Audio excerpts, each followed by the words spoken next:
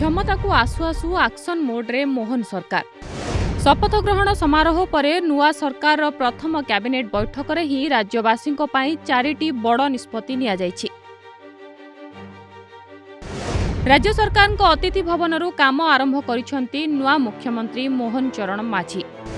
BJP ସରକାରର ପ୍ରଥମ ଶହେ ଦିନ ପାଇଁ ଆକ୍ସନ୍ ପ୍ଲାନ୍ ପ୍ରସ୍ତୁତ କରାଯାଉଛି। ଲୋକଙ୍କ ବିଶ୍ୱାସ ଜିତିବା ସହ ଲୋକଙ୍କ ପାଇଁ କାମ କରିବାକୁ ଫୁଲ୍ ସ୍ପିଡ୍ରେ ଆଗେଇ ଚାଲିଛି ମୋହନ ସରକାର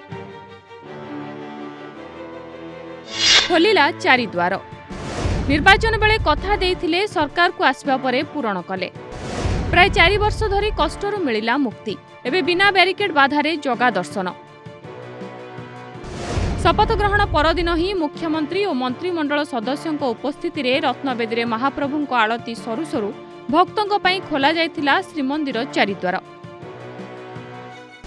ବିଜେପି ସରକାରର ଏହି ପଦକ୍ଷେପରେ ଖୁସ୍ ଶ୍ରଦ୍ଧାଳୁ। ସେହିପରି ଶ୍ରୀମନ୍ଦିର ପରିଚାଳନା ଓ ରକ୍ଷଣାବେକ୍ଷଣ ପାଇଁ ପାଞ୍ଚଶହ କୋଟି ଟଙ୍କାର କର୍ପସ୍ ଫଣ୍ଡ ଗଠନ କରାଯିବା ନିଷ୍ପତ୍ତିରେ ବାଜିଛି କ୍ୟାବିନେଟ୍ ମୋହର। ଚାଷୀରୁ ମହିଳା ବଡ଼ ନିଷ୍ପତ୍ତି। ଶପଥ ଗ୍ରହଣ ସମାରୋହ ପରେ ପ୍ରଥମ କ୍ୟାବିନେଟ୍ ବୈଠକରେ ହିଁ ବଡ଼ ନିଷ୍ପତ୍ତି ନେଇଛନ୍ତି ମୋହନ ସରକାର। ଖୁବ୍ ଶୀଘ୍ର ଆସିବ ସମୃଦ୍ଧ କୃଷକ ନୀତି ଯୋଜନା ଧାନର ଏମ୍ଏସ୍ପି ଏକତିରିଶଶହ ଟଙ୍କା ଦାବି ନେଇ ସମୀକ୍ଷା କରିବାକୁ କମିଟି ଗଠନ କରାଯିବ କେନ୍ଦ୍ର ଏମ୍ଏସ୍ପି ବୃଦ୍ଧି କରିବାକୁ ରାଜି ହେଲେ ବି ରାଜ୍ୟ ସରକାରଙ୍କୁ କିଛି ଖର୍ଚ୍ଚ ବହନ କରିବାକୁ ପଡ଼ିପାରେ ସମୃଦ୍ଧ କୃଷକ ନୀତିର ବିସ୍ତୃତ ମାର୍ଗଦର୍ଶିକା ପ୍ରସ୍ତୁତ କରିବାକୁ ବିଭାଗକୁ ନିର୍ଦ୍ଦେଶ ଦିଆଯାଇଛି ସେହିପରି ମହିଳାଙ୍କ ପାଇଁ ସୁଭଦ୍ରା ଯୋଜନାକୁ ଫୋକସ୍ କରାଯାଇଛି କେନ୍ଦ୍ର ସରକାରଙ୍କ ସୁଭଦ୍ରା ଯୋଜନା ରାଜ୍ୟରେ ଲାଗୁ କରିବାକୁ ନିର୍ବାଚନ ବେଳେ ପ୍ରତିଶ୍ରୁତି ଦେଇଥିଲା ବିଜେପି ଏଥିରେ ମହିଳାଙ୍କୁ ଦୁଇ ବର୍ଷ ପାଇଁ ପଚାଶ ହଜାର ଟଙ୍କାର ଭାଉଚର ମିଳିବ। ଲୋକସେବା ଭବନକୁ ଗଲେ ସାମ୍ବାଦିକ। କୋଭିଡ ସଂକ୍ରମଣ ସହ ଦୁଇ ହଜାର କୋଡ଼ିଏ ମସିହାରୁ ଗଣମାଧ୍ୟମ ପ୍ରତିନିଧିଙ୍କୁ ଲୋକସେବା ଭବନକୁ ପ୍ରବେଶ ମନା ଥିଲା ଚାରି ବର୍ଷ ହେଲା ଲାଗିଥିଲା କଟକଣା। ତେବେ ନୂଆ ସରକାର ଶପଥ ଗ୍ରହଣ ପରେ ସାମ୍ବାଦିକଙ୍କ ପାଇଁ ଲୋକସେବା ଭବନ ଖୋଲିଛନ୍ତି। ନୂଆ ସରକାରର ପ୍ରଥମ କ୍ୟାବିନେଟ୍ ସହ ବଦଳିଛି ପଲିଟିକାଲ ରିପୋର୍ଟିଂ ଧାରା। ପୁଣି ଲୋକସେବା ଭବନକୁ ଯାଇଛନ୍ତି ଗଣମାଧ୍ୟମ ପ୍ରତିନିଧି। ଅତିଥି ଭବନରେ ଅସ୍ଥାୟୀ ସିଏମ୍ଓ ରାଜ୍ୟ ସରକାରଙ୍କ ଅତିଥି ଭବନରୁ କାମ ଆରମ୍ଭ କରିଛନ୍ତି ମୁଖ୍ୟମନ୍ତ୍ରୀ ମୋହନ ମାଝୀ। ବିଜେପି ସରକାରର ପ୍ରଥମ ଶହେ ଦିନର କାର୍ଯ୍ୟକ୍ରମ ପାଇଁ ଆକ୍ସନ୍ ପ୍ଲାନ୍ ପ୍ରସ୍ତୁତ ହେଉଛି। ପ୍ରଥମ ଶହେ ଦିନରେ ରାଜ୍ୟ ସରକାର କେଉଁ ନିଷ୍ପତ୍ତି ନେବେ ସେ ନେଇ ଅଫିସରଙ୍କ ସହ ପ୍ରାରମ୍ଭିକ ଆଲୋଚନା କରିଛନ୍ତି ମୁଖ୍ୟମନ୍ତ୍ରୀ। ବିଜେପି ସଂକଳ୍ପ ପତ୍ର ଆଧାରରେ ଶହେ ଦିନର କାର୍ଯ୍ୟସୂଚୀ ପ୍ରସ୍ତୁତ କରିବାକୁ କୁହାଯାଇଛି। ବିଧାନସଭା ଅଧିବେଶନ ନେଇ ସଂସଦୀୟ ବ୍ୟାପାର ବିଭାଗ ସଚିବ ଓ ବିଧାନସଭା ସଚିବଙ୍କ ସହ ବିଚାର ବିମର୍ଶ କରିଛନ୍ତି।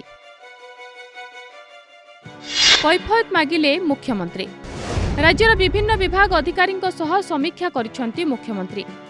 ଢିଲା ପ୍ରଶାସନିକ ବ୍ୟବସ୍ଥାକୁ ନେଇ ସେ ଅଫିସରଙ୍କୁ ତାଗିଦ କରିଥିବା ଜଣାପଡ଼ିଛି।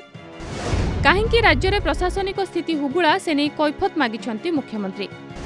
ପ୍ରଶାସନିକ ଅବ୍ୟବସ୍ଥା ନେଇ ଅସନ୍ତୋଷ ପ୍ରକାଶ କରିବା ପରେ ରାଜ୍ୟରେ ଅଫିସର ସ୍ତରରେ ବଡ଼ ଧରଣର ଅଦଳବଦଳ ହୋଇପାରେ ବୋଲି ଚର୍ଚ୍ଚା ହେଉଛି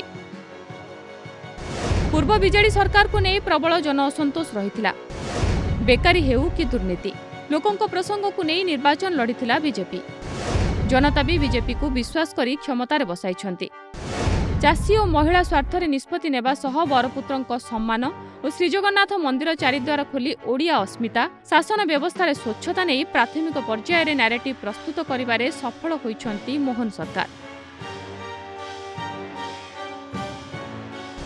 ଲୋକଙ୍କ ପାଖରେ ପହଞ୍ଚିବେ ପାଞ୍ଚ ବର୍ଷରେ ପଚାଶ ବର୍ଷର ବଳକା କାମ କରିବେ ବୋଲି ମୋହନ ମାଝୀ କହିଛନ୍ତି। ତେବେ ବିକାଶକୁ କେତେ ବାଟ ଆଗେଇ ନେବ ଡବଲ ଇଞ୍ଜିନ୍ ସରକାର? ଲୋକଙ୍କ ହୃଦୟ କେମିତି ଜିତିବେ? ବିଜେପି ସରକାର ଲୋକଙ୍କ ଆଶାକୁ କେତେ ପୂରଣ କରିପାରିବେ? ବିକାଶର ପ୍ରତିଶ୍ରୁତି କେତେ ପାଳନ କରିପାରିବେ? ଭୁବନେଶ୍ୱରରୁ ପ୍ରିୟଦର୍ଶିନୀ ମହାପାତ୍ରଙ୍କ ରିପୋର୍ଟ ଓଡ଼ିଶା ସମ୍ବାଦ।